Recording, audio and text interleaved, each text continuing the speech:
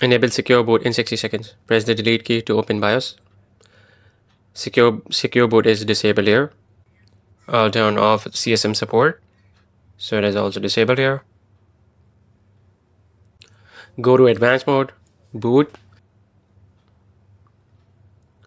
and restore factory keys. Install a new one here.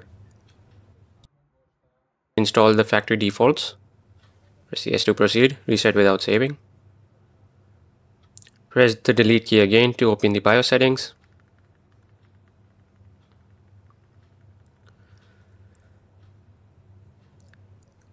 Go to advanced, boot,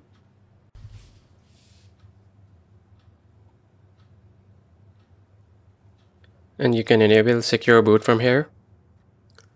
I've already enabled, there you go. Thank you for watching.